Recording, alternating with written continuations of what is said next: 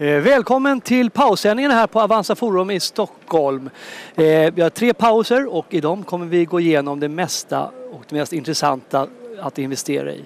Första passet eh, pratar vi ganska mycket om de nya investeringsprodukterna. Börshandlade certifikat, börshandlade fonder, mini-futures. En produkt om Flora som har tagit väldigt stor del av svenska, svenskarnas sparare och framförallt Avanza sparare älskar den här typen av produkter.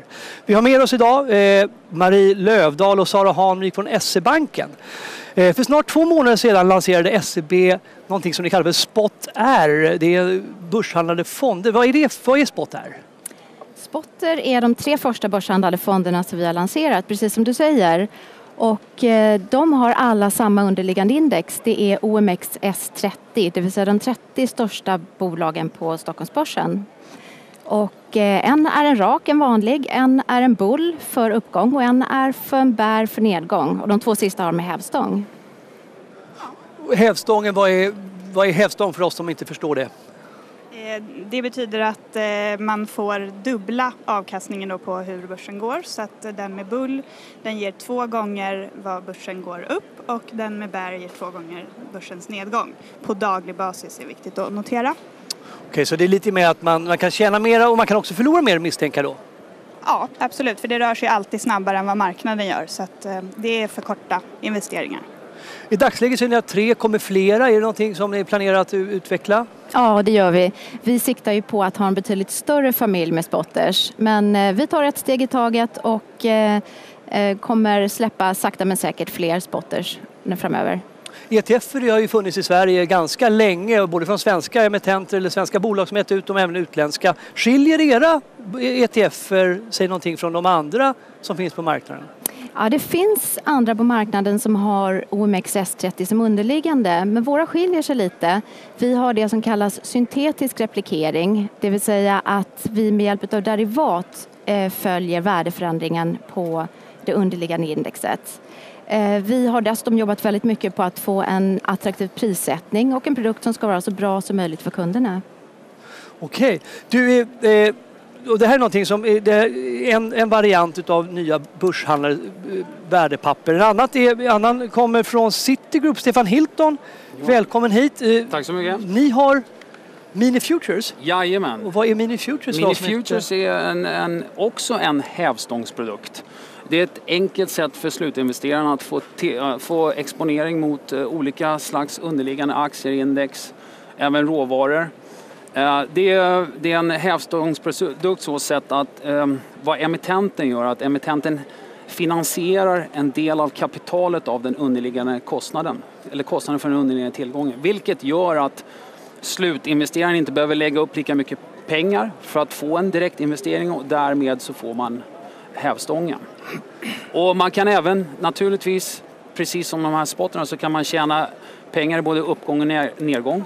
Så vi har mini long och mini short.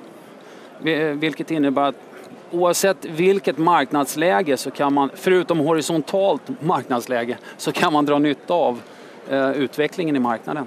Du sa hävstången i S-banken, ni sa att ni hade hävstång på två, era bull och bär. Vilken hävstång har ni på era produkter? Minifuturerna är konstruerade så att eh, när vi emitterar minifuturerna, så till exempel om vi har Ericsson som en underliggande, så emitterar vi flera stycken minifutures på Ericsson med olika finansieringsnivåer. Så beroende på utbudet för minifuture på Ericsson så kan man välja en hävstång på kanske 2, 3, 4 och hela vägen upp till kanske 20. Om, man är, om, om, hävs, om Eh, finansieringsnivån kommer riktigt nära underliggande priset i tillgången. Så då kan man se om, det här är, om den är, innan man köper så får man veta vilken hävstång man har, det, vilken det, risk. Absolut, det, och det ser man väldigt enkelt på emittenternas hemsida. Okay. Så går man in på emittentens hemsida så ser man väldigt enkelt vad finansieringsnivån är, vad stopploss är, vad hävstången är etc.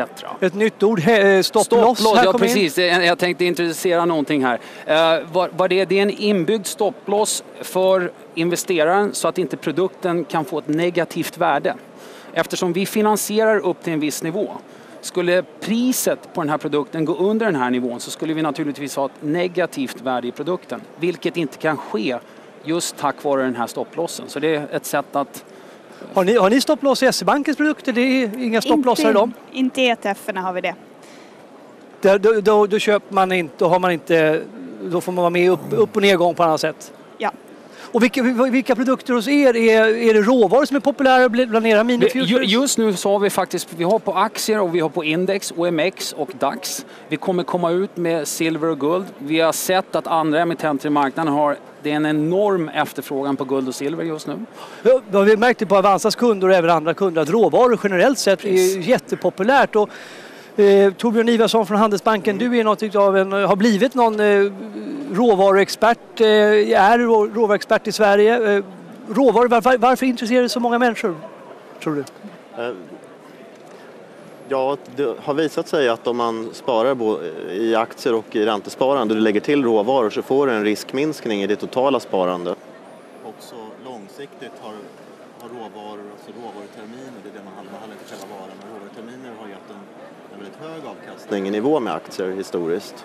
Och de här två, både riskspridningen som är ett gratis sätt att minska risk och den attraktiva avkastningen har gjort att det blivit väldigt populärt. Och sen eh, till skillnad från eh, eh, till skillnad från aktier till exempel så finns ju inte så många råvaror att hålla koll på.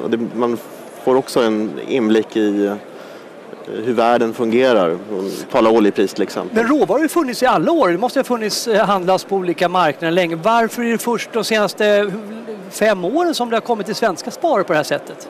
Ja, det har funnits eh, mäklarfirmor i Sverige sedan 80-talet i alla fall. Råvarumäklarna var väl först då, så Svenska Metallbörsen som Handelsbanken sedan köpte eh, som en del av, av den här gruppen då som finns på Handelsbanken. Men, men eh, det har inte, svenska företag har ju använt terminer för, för prissäkring och så men just i sparande har det inte det har inte blivit privat, nej, privatspararmässigt inte, inte, inte kommit ut, Nej, precis. Det har inte kommit ut liksom till till allmänheten. Och för att det ska nå ut så behövs det ju något slags instrument. Man kan ta ett terminskontrakt på kanske 1000 fat råolja då, 110 dollar. Det är väldigt mycket pengar. Ja. Att, eh, att, eh, vad vi gör då i, i den här värdepappershandeln, vid Bull olja till exempel, eh, Eh, eller exakt råvaror, eh, exakt råvaror, den börshandlade råvarufonden då, att vi tar det här, de här tusen, kontra, tusen faten och delar upp dem i små, små, små bitar som går att lätt att handla och den här, skapar den här delbarheten, det är ju typiskt sett vad en en bank gör. Just det. Och, och, och, ni har, Handelsbanken, ni har, ju, ni, har ju, ni har ju både fonder och olika certifikat. Ni har massa olika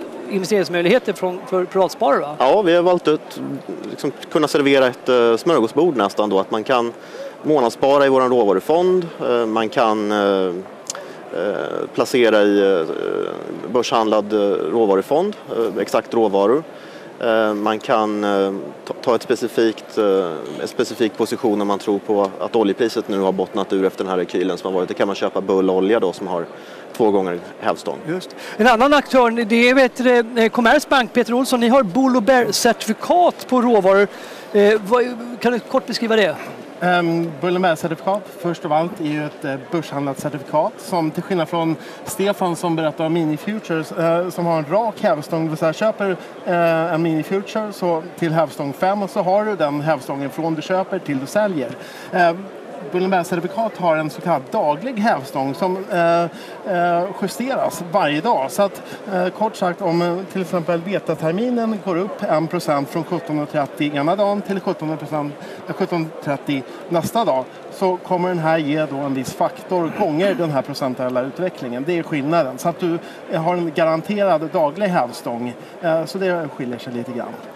Och, eh, när vi pratades vid tidigare så berättade du att eh, intresset för Avanzas kunder just i silverinvesteringar har varit jättestort sista ja, det är helt enormt. Eh, men det verkar som att svenska folket, svenska investerare, är silvertokens varit det de senaste veckorna med tanke på dels att eh, silver gick upp som bara den upp till nästan 50 dollar och sen hade en enorm nedgång på 25, vad var det, 25 procent någonting under bara några dagar vilket var, passade investerare både bull certifikatet och eh, bärcertifikatet utmärkt. Och båda de Bullen Bear Silver gånger fyra var ju bland de mest handlade certifikaten i Sverige eh, just de senaste veckorna tack vare det här råvarurallyt. Torbjörn Ivarsson, blev ni tagna på sängen av det kraftiga snabba fallet i silverpriset? Um, ja, att det skulle vara så kraftigt. Att det skulle vara den, den största nedgången på en vecka sedan bröderna Hunts Corner på silver 1980 sprack. Eh, och den tredje största sen, vi går tillbaka till 1970, jag brukar alltid kolla ungefär hur gammal jag är. Men, men att, det var, att, att, silver var alldeles för dyrt, det hade vi skrivit i våra veckobrev eh, flera gånger. Alltså, inte så mycket för dyrt? jo, alltså väldigt mycket för dyrt ja. historiskt jämfört med guld till exempel. Okay. Ja. Vad tror svenska spararna just nu om Silver Bull eller Silver Bear? Eh, folk börjar bli väldigt bullish igen. Börjar gå in, eh, sålde av sina bullcertifikat när de började närma sig 50, gick in väldigt mycket i bear och nu går de in i bull igen. Okay. Eh, vilket är intressant. Att, eh, hur snabbt eh, folk byter ben från ena till det andra. Vi kan, eh, ni har ju eh, Bull och Bear-certifikaten, de finns ju på mera, flera olika råvaror än silver antar jag? Det, det stämmer, vi, vi erbjuder eh, guld, eh, VTI-olja, Brentolja, kaffe, kakao, eh, koppar, majs eh, och vete till exempel och även naturgas sedan eh, två veckor tillbaka. Okej, för de som inte... De som, de, för jag antar, det känns lite grann som att det här certifikat, mini futures, det är för de som verkligen tycker att någonting är intressant och man vill ta ett bett upp eller ner. Men för de som inte riktigt vet, de kanske en, och vill, tycker att råvaror är bra, så kan ju en fond vara ganska lämpligt. Va? Eh, Alexander Frick från eh, RBS SIP Nordic, ni har en vanlig råvarufond på Absolut. samma sätt som Handelsbankens råvarufond. Hur funkar det? Hur... Ja, vi har ju både mini-futures också på råvaror men alltså nu är jag här i egenskap av råvarufondsrepresentant och vi har startat en ny råvarufond egentligen som vi kallar eh, Sveriges bredaste råvarufond som innehåller 36 råvaror som kan vara bra som du säger om man inte är riktigt säker på eh, vilken råvara man ska följa men man ändå tycker det? att råvaror ska finnas med i portföljen. Ja. Vilket jag tror att många här idag kan liksom vara med mig om att råvaror ska finnas med i portföljen. Eh, exakt som, som Torbjörn pratar om också är det en jättebra argument att man ska ha råvaror just för att sprida riskerna och diversifiera bort riskerna. För studier har faktiskt visat på att du, du sänker risken med råvaror i portföljen. Sen hur mycket du ska ha, det är upp till var och en hur mycket man faktiskt är beredd att investera i råvaror. Ja, det är inte så lätt. Eh, för det, när vi tänker aktier, så eh, aktie, globala aktieindex, så kan man ju lätt se att USA väger 45 procent i globalt index och Sverige väger 1 procent. Då kan man liksom tänka sig lite grann där hur, hur överviktad eller underviktad man är i sin aktieportfölj relativt något världsindex. Men det, finns det något sånt på, ja. på eh, råvaror? Ja, man gör ju så. Flera index och även, även Handelsbankens råvaruindex är viktat efter global produktion. Okay. Eh, värdet av produktionen av olja. Och vad är störst? Det är såklart olja. Olja, alltså, olja energi. Eh, nu handlar vi inte kol på någon börs. Eh, I alla fall inte likvitt, men, men olja det är ju väldigt stor. Man är det för att det är politiskt inkorrekt att handla kol eller? Nej, det har varit mer leveranskontrakt. okay. men det är på väg att gå över till mer terminshandel också. Eh, det valut, eller råvaror prissätts ju oftast i dollar. Eh, och vi vet att svenska kronan har ju gått verkligen berg och dalbana gentemot dollarn de senaste åren. Er fond, hur hanterar den? Hur hanterar er fond valuta? Alltså, vi, vi tyckte att det saknades någonting på svenska marknaden och det var liksom en valutahedgad eller valuta-riskjusterad fond. Eh, för att de flesta råvarorna handlas i olja, eller i dollar som du sa. Och eh, det är ett klassiskt exempel att kolla på olja och guld kontra dollarn. För går oljan upp så går i många fall dollarn faktiskt ner och samma sak med kontra guldet. Så att om man är intresserad av att investera i råvaror, varför ska man då blanda in någonting som eh, dollar då det finns bra mycket bättre investeringsalternativ som mini-futures på dollar kontra kronan till exempel. Eh, så alltså, sprida bort den risken som du faktiskt skapar genom att ha en extra exponering som du har mot dollar. Är det smart att valutahedga bort, eller valutasäkra en råvaruportfölj på det sättet? Solberg? Det är ju olika filosofier. Jag tycker att om man har en, en, en guldtacka så den prissätts ju i svenska kronor men man kommer fram till värdet genom att ta noteringen på guld i dollar gånger dollar-kronkursen. Då får vi fram ett värde på den och den, den, dess värde, för en svensk sparare så vill man ju ha dess värde i svenska kronor. Och detsamma tycker jag vi har gjort som med våra råvarufonder, att de, de beräknar man värdet på på samma sätt. Att man tar en notering på en råvara i dollar och multiplicerar den med, med eh, med dollarkronkursen för att få värdet i svenska kronor så att de här två, en, fysisk tacka och ett certifikat på guld till exempel ska, värdera, ska, ska förändras i värde i svenska kronor lika mycket på ett års sikt. Okej. Kristina eh, okay. uh, Chung from Allianz, uh, Chinese expert and uh, we're talking about gold here. Uh, I know that China, are they big consumer of gold? Yes, uh, Chinese consumers like gold a lot, and um, there is always genuine demand uh, for gold as an investment. Um, and also, I think there is always a possibility that uh, the uh, Chinese authority can, can, will increase their gold uh, amount in their foreign exchange reserves. And uh, China is also a big consumer of other all re natural resources, I guess. How, how is the how is China? How is the commodity prices de uh, developing through the Chinese growth? Mm. Um, we are uh, quite positive on the China economic growth in the medium term. We believe that China is one of the fastest growing economy globally. And uh, because of the high economic growth, plus the fact that there will be increasing urbanization, accelerating economic development in the less developed part of China, which will require a lot of infrastructure development, they obviously demand commodities such as construction materials, as well as increasing consumption in, uh, in a very broad sense. For example, automobile uh, sales have been very strong, and that will continue. And obviously, again, automobile uh, will require related commodity like copper, aluminium, etc and uh, as well as household appliances, the demand will also continue to be very strong. So on the back of that, we actually expect commodity demand from China will remain to be very strong. And China, unfortunately, does not have much commodity resources. Um, I think one of the commodity that they have, they are a little bit more abundant of is thermal coal. But apart from that, what is thermal coal? That's a trick. Basically, is coal used to generate power. Okay. Uh, as opposed to like for example cooking coal they are not that uh, they don't have much uh, resources of and cooking coal is a major raw material for steel mills.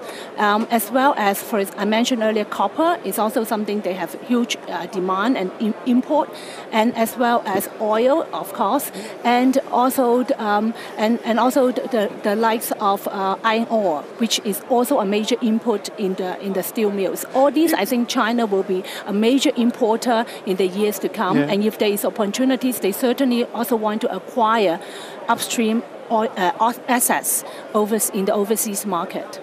And if you, if you, have, to, if you have to choose one commodity, if, uh, which is most, uh, most interested of from the Chinese perspective? Mm, I think at the moment, um, gold obviously is one because this is obviously an inflation hedge. And then I think from relating to the economic development, um, I think will be the likes of, for example, oil, which is obviously relating to, for example, the demand for automobile in China. Obviously, China has already become the largest car market globally. And therefore, with increasing penetration of car ownership, the demand for uh, oil-related products will be very strong. Thank you very much, Christina. Är Kina, är Kina den stora mottagaren av eh, nästan all råvaruproduktion framöver? Är det så? Ja, det är ju så nu att, eh, att Kina står för en mycket stor del av framförallt basmetall, koppar efterfrågan i världen. Eh, mindre, mindre råolja då, eftersom det inte finns än så mycket bilar i Kina. Men men att det där är någonting som naturligtvis kommer att öka. Men jag kan säga att om det följer Sydkoreas eh, utveckling på 20 år så, så, så, innebär det en ökad eh, krav på oljeproduktion på ungefär 50 miljoner fat om dagen. Och eh, eh det finns, ni, S-banken, ni kanske är på gång med någon eh, olje-ETF av något slag eller? Ja, vi tittar på många olika index att göra ETFer på, absolut. Och det beror lite på efterfrågan och intresset. Så att, eh, vi, vi tittar eh, på alla olika tillgångsslag. Du dra ihop oss här till eh, stängning av paus 1. Eh, de kommer dra igång här alldeles strax på stora scenen. Vi här uppe från studion, jag Jesper Strandberg tackar mina gäster den här gången. Jag är tillbaka i nästa paus och vi återvänder alldeles strax till stora scenen. Tack så mycket. Tack så mycket att ni kom. Tackar. Tack, tack, tack. tack. tack.